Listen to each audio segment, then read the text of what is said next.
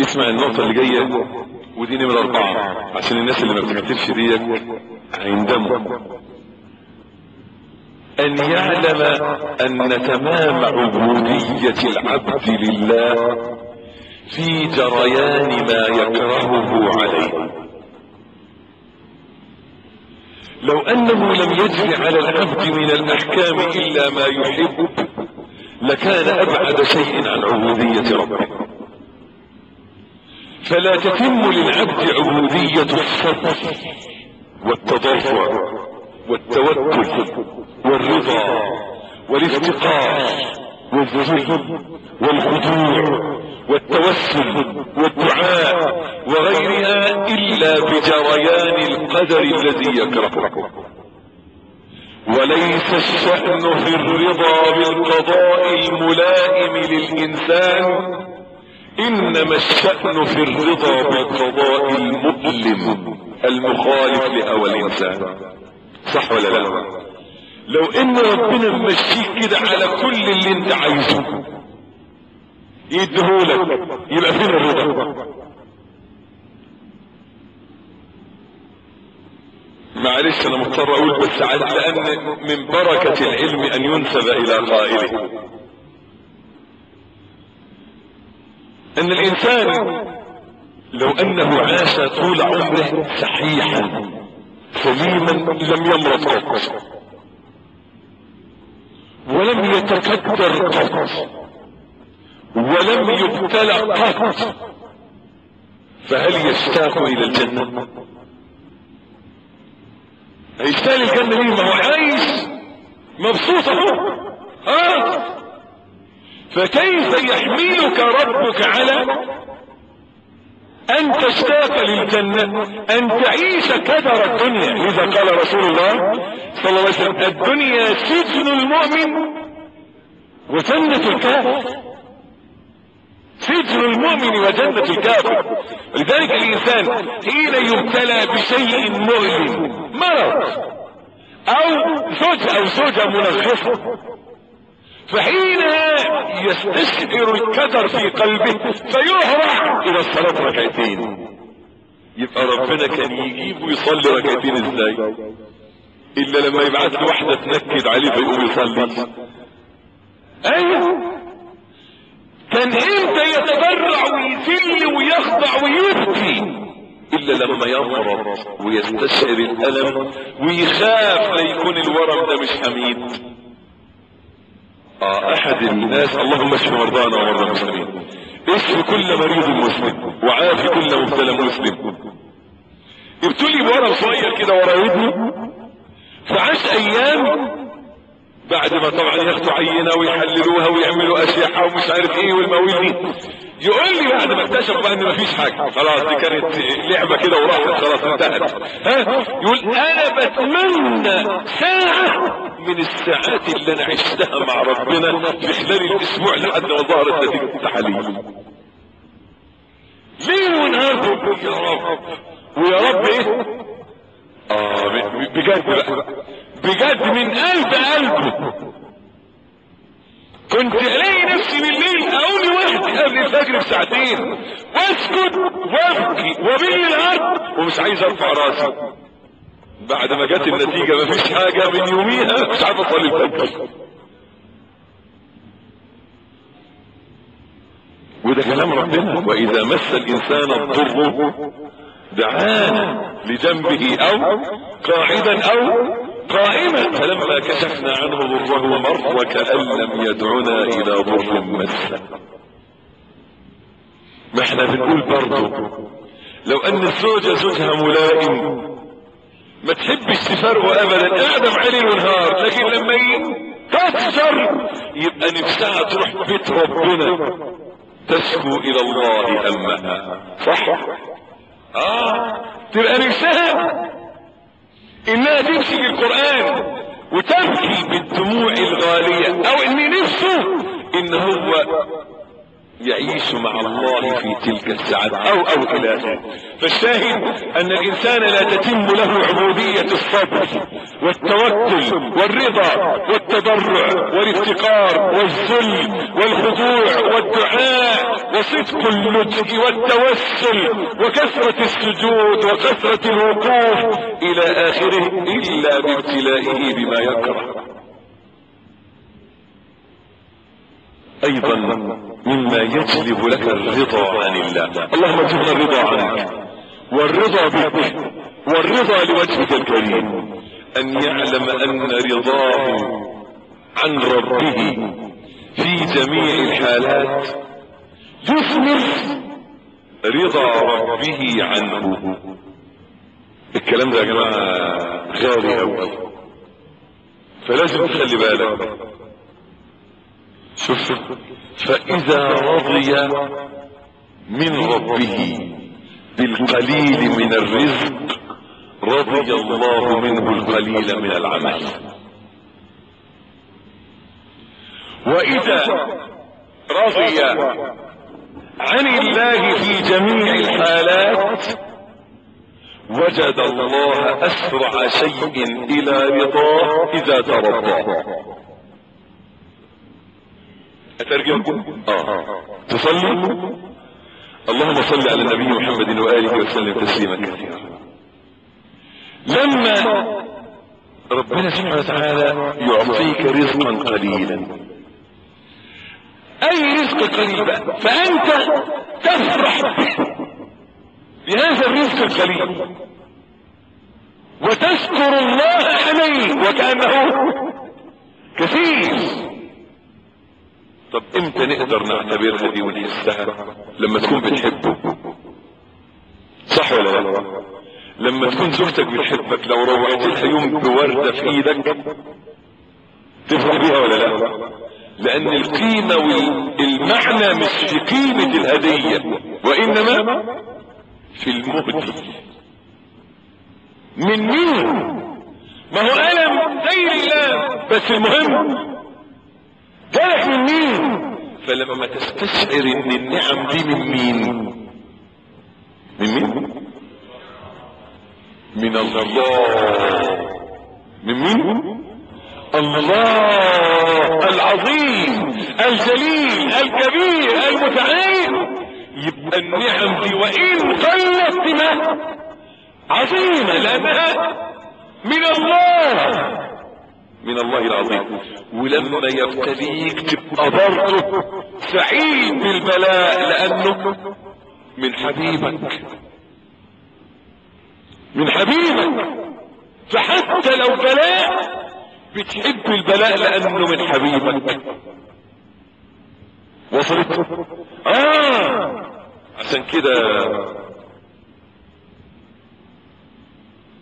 بعضهم يقول إيه؟ ولئن ساءني ان نلتني بمساءة فلقد سرني أني خطرت بذلك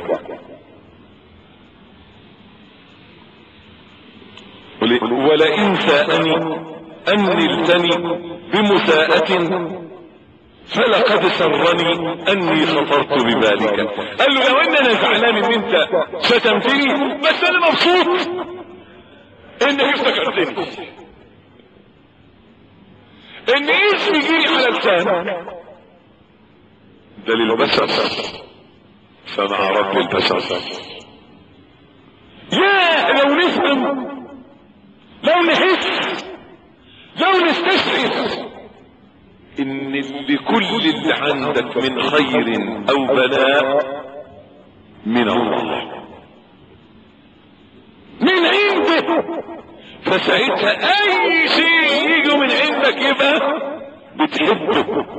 فاكرين أنا قعدت سنة نقول نفسك في إيه؟ أهو شوف حافظ نفسي ومنى عيني إن ربنا يرضى عني. نفسك في إيه بقى؟ وإيه كمان؟ بس. إنه يرضى بس واحد يقول لي نفسك في إيه؟ يقول نفسي ربنا يرضى عني وإيه كمان؟ يقول له يجوزني. أقول له غلط يقول لي صح ما هو لو رضى عني هيجوزني. أقول له مش شرط ممكن يرضى عنك وإيه؟ وما يجوزكش. لأنه هو يعلم الخير لك. إنه لو جوزك هتطفش بعيد عنه. فما يجوزكش عشان تفضل بين ايديه نفسك في إيه ربنا يرضى عني. وايه كمان ويديني الصحة. ويشفيني غلط.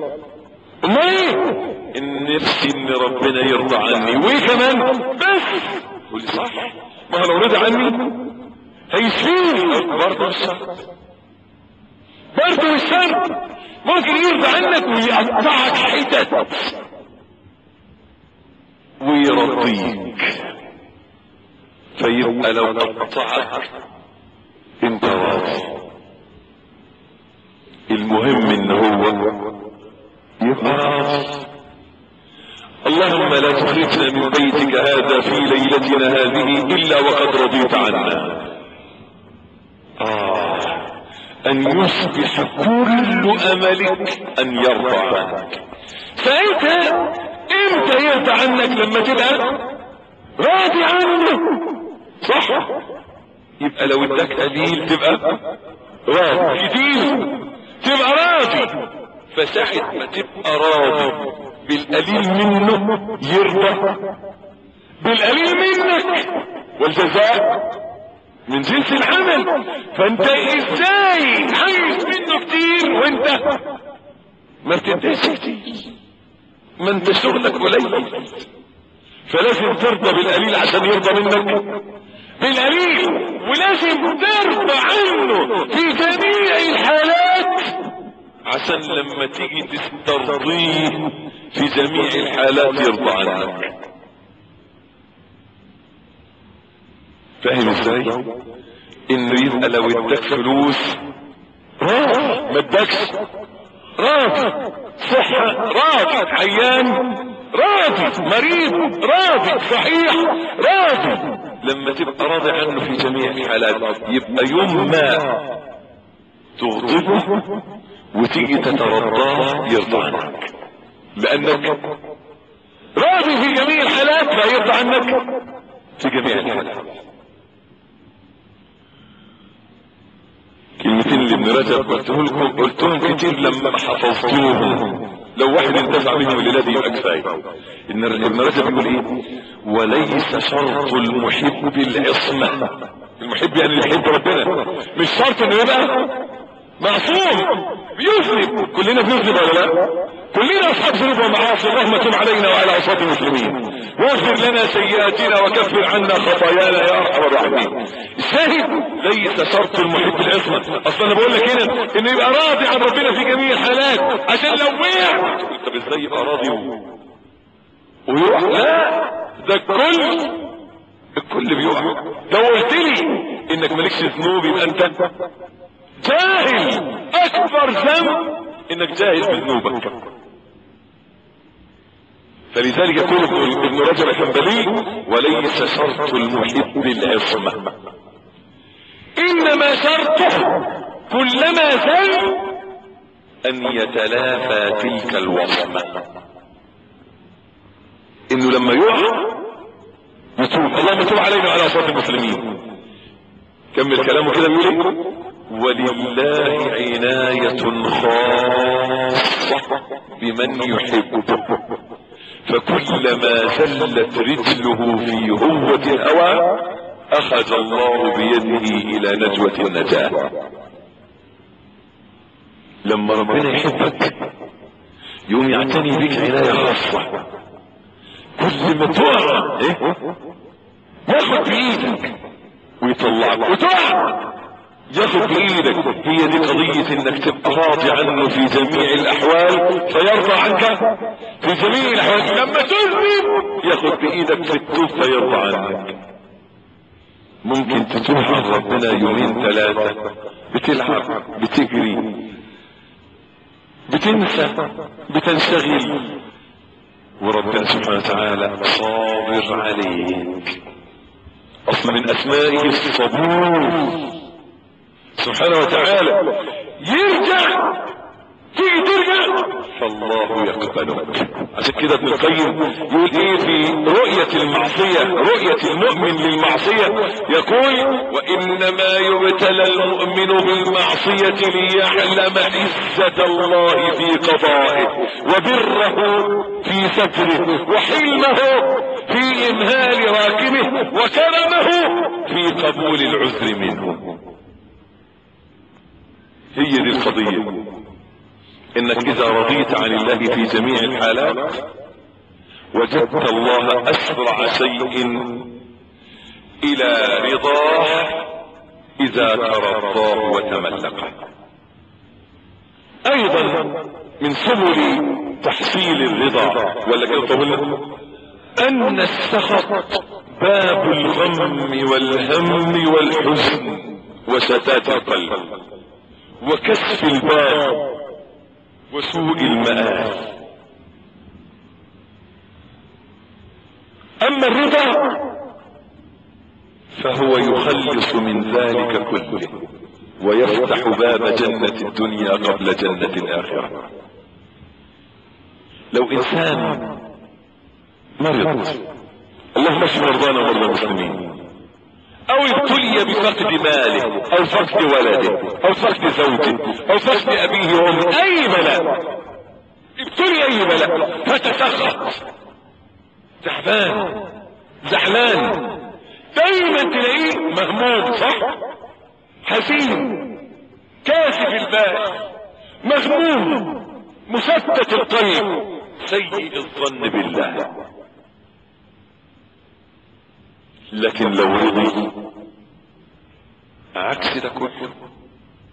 السعادة والهدوء والفرح والحب والرجاء وسعادة القلب وجمع شتات النفس. لو رضي باللي ربنا قسمه له. قال رسول الله صلى الله عليه وسلم ارضى بما قسم الله لك تكن تكن أغنى الناس. وازاي تكون أغنى الناس. قال رسول الله صلى الله عليه وسلم يا أبا ذر إن الغنى غنى القلب وإن الفقر فقر القلب. ساعة ما يرضى يبقى غني. ولو ما معكش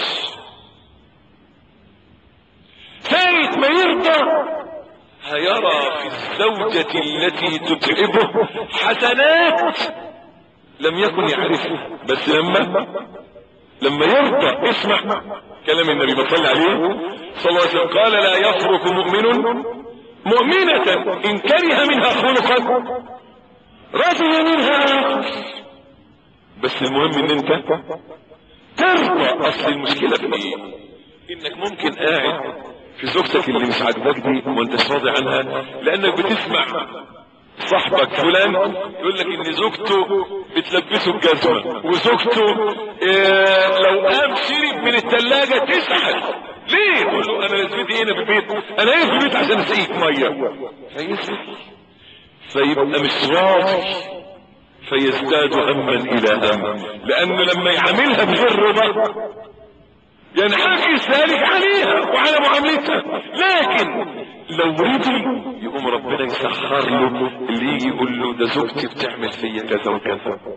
فيقوم يقول آه ده أنا في نعمة بقى. مش هيجيب له بقى يقول له بتاع الجزمة. لا هيجيب له اللي يقول له جزمة بس بطريقة ثانية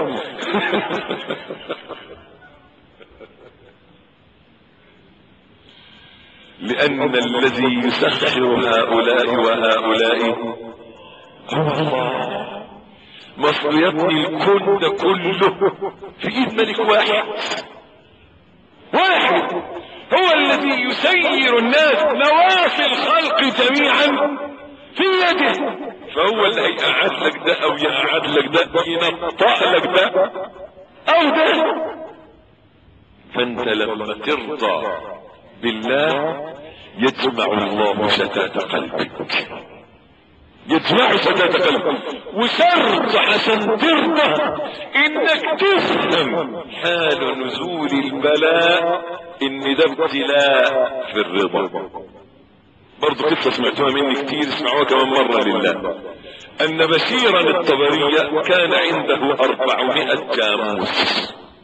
بشير الطبري رجل من السلف كان يملك مزرعة فيها أربعمائة جاموس في عبيد كثيرين خمسين ستين عبد يرعونها فأغارت الروم يوما فأخذت الجواميس فأرسل العبيد إليه فأقبل مع ولد من أولاده فلقيه العبيد يبكون يا سيدنا يا مولانا أخذت الجواميس أخذت الجواميس.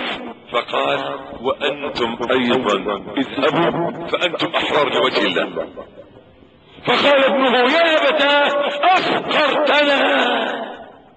فقال اسكت يا بني إن ربي أراد أن يبتلي رضائي به فأحببت أن أزيده. قل ده ربنا لما خد 400 جاموس بيختبر هرضى ولا لا. هرضى ولا لا يا رب. لا. ده أنا راضي. قوي. ودول كمان. ودول كمان. لكن لما تقول له راضي ولا لا يقول لك قوي ومن جوه. آه. هي دي المشكلة إنه مش راضي من جوه. دي المشكلة يا شباب. دي أنا شفتها بعيني. أحد الناس كان يرزق أولاده ويموتوا صغار. الولد يبقى عنده سنتين ويموت أربع سنين ويموت خمس سنين ويموت. وربنا أكرمه وعاش له ولد لما بقى سنه 18 سنة. كنا في خلال الفترة دي على مدار 10 12 15 سنة. يا عم الحاج راضي يقول طبعا طبعا. راضي الحمد لله. الواد عاش لما بقى عنده 18 سنة ومريض الراجل يفرح دكاتره وأشعة و- وتحاليل ود- ودواء. جاب ادويه ادويه أدوية. وكان الولد يعيش في غرفة كده في آخر دور آه، في مثل السطوح عاملها له حاجة زي آه، روح. أيوه روح. صح كده. فالشاهد عايش الولد هناك. ف وقاعد جنبيه وفجأة مات الولد. أنا بقول لك شفت بعيني دي.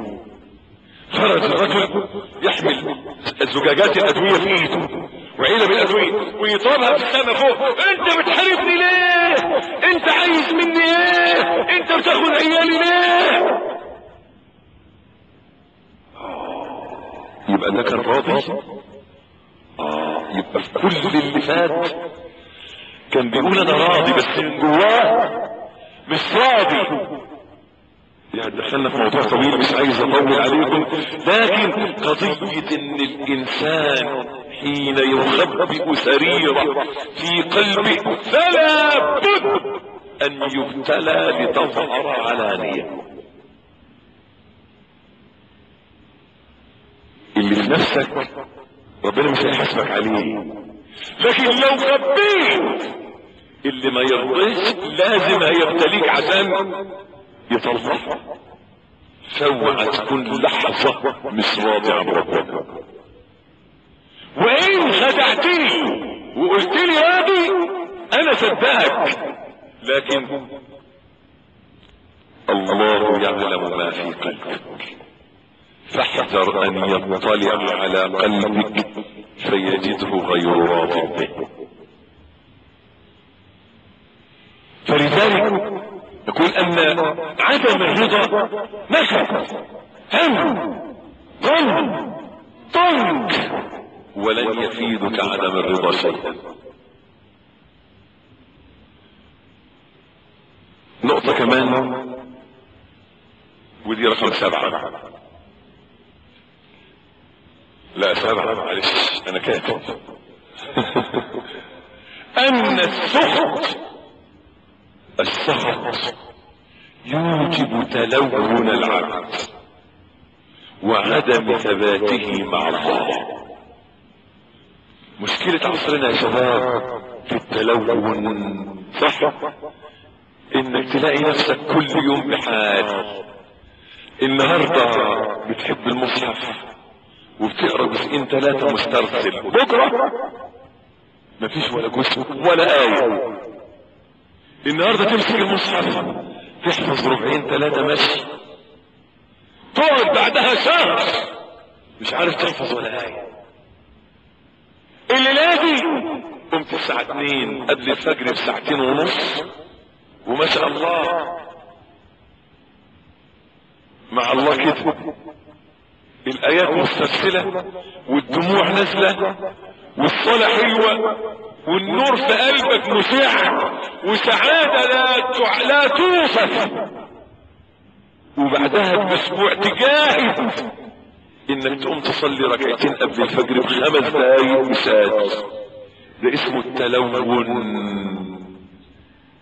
كل يوم بحال وكل يوم بطريقة وكل يوم مع ربنا بنور. السبب إيه؟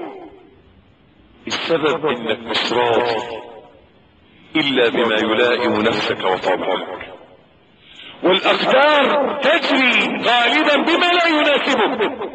فتلونك مع الأقدار النهارده راضي وبكره مش راضي؟ يوجب النهارده شغال وبكره عطلان ما إحنا يا شباب بقول المشكلة إن إحنا أهل عصرنا لما اتعاملوا مع الكمبيوتر بقوا عاملين زي الكمبيوتر. تفتح فايل يديك كل حاجة. مش كده؟ هي دي القضية النهاردة إن ربنا سبحانه وتعالى لما يديله وينعم عليه ويريحه ويهديله ولاده وزوجته يبقى مع ربنا كويس. ساعة ما كل ده يجي هو كمان. آه لا. لا.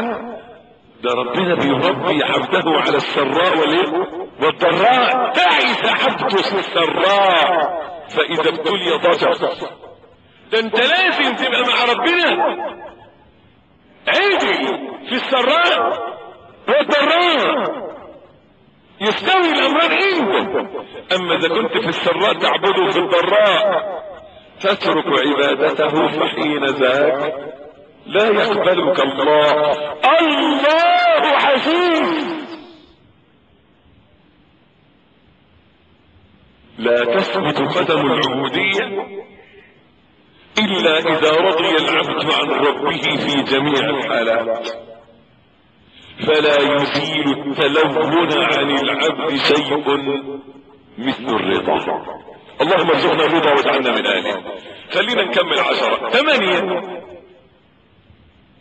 أن من ملأ قلبه من الرضا ملأ الله صدره غنى وأمنا وقناعة. وفرغ قلبه لمحبته والإنابة إليه والتوكل عليه.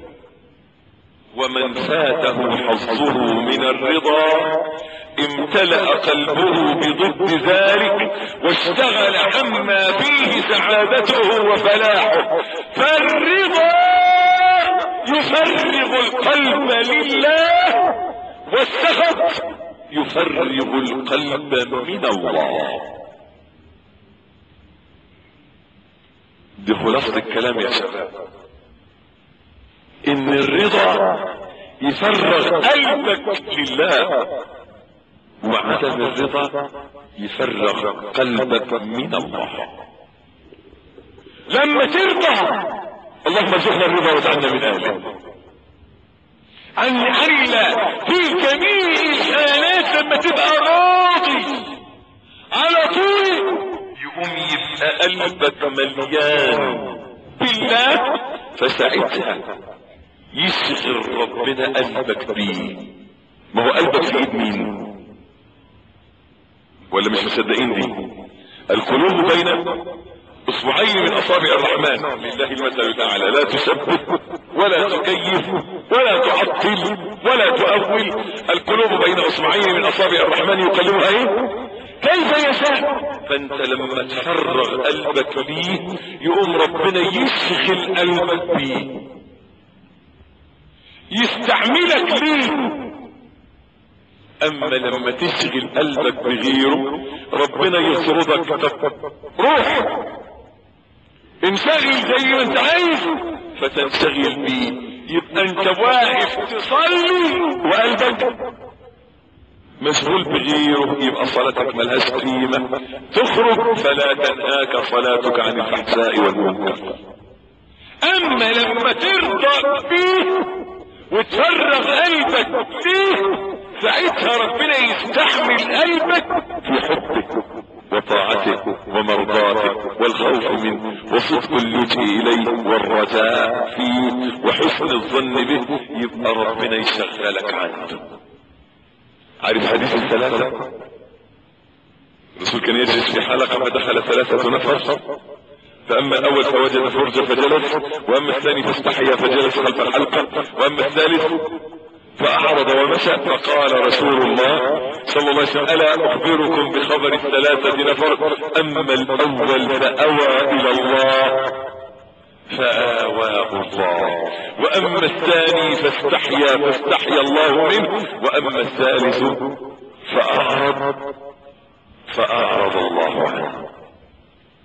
هي دي لما توي إليه يؤمنك ولما تعرض عنه.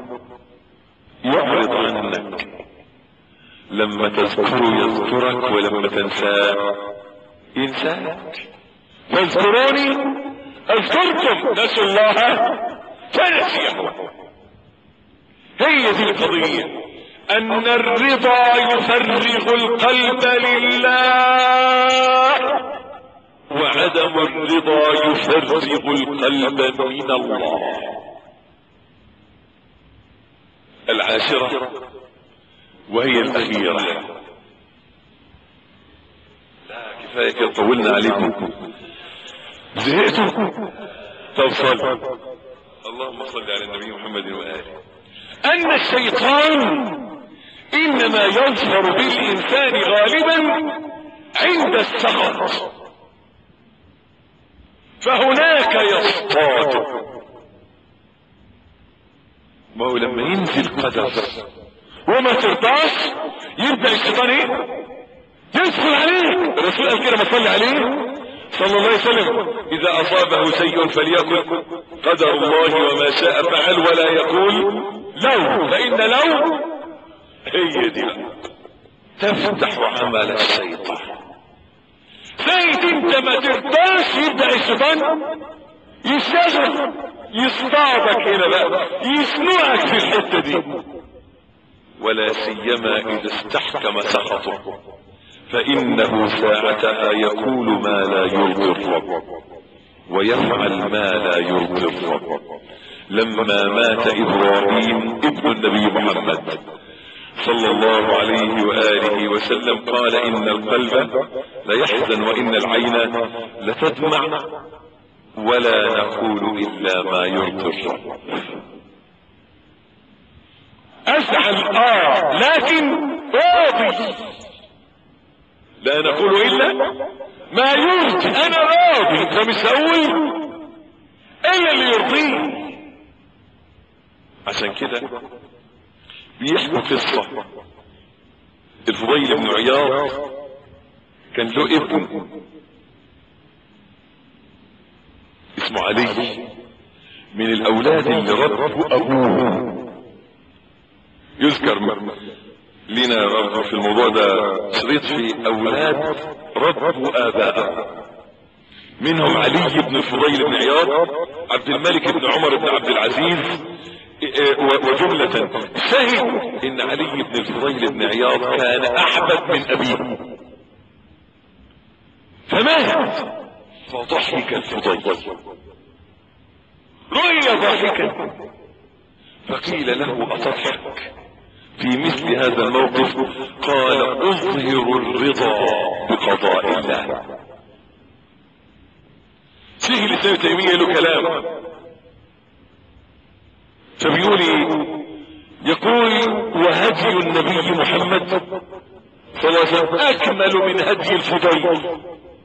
فإن النبي صلى الله عليه وسلم لما مات ابنه بكى وكان رضاه أكمل من رضا الفضيل طبعا وقال وسر هذا هو بيقول ونكتة هذا شيخ الإسلام بيقول نكتة نكتة يعني سر. وسر هذا أن للإنسان قلب واحد. وكلما استكمل الإنسان العبودية اتسع صدره لجميع فروعها. الإنسان لما يستكمل العبودية قلبه يبقى واسع لجميع أنواع العبودية. يبقى واسع جدا. فالنبي محمد صلى الله عليه وسلم اتسع قلبه لرحمة الولد والحزن عليه والرضا عن الله فبكت العين والقلب راض وحزن القلب واللسان راض